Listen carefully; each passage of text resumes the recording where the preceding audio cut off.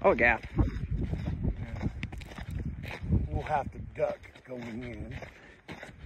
Well, you may have to butt scoot, but I might eventually, yeah, because some of that goes. So it's real like scoot in really there. Have to kneel down. It's gotten worse since. And then if you look, Oh yeah, just look how much he has to go down. He only had to duck a little bit back in there. You'll see as you look out how. Now I can stand up. Yeah, now we can stand up in there. There's all these writings on here.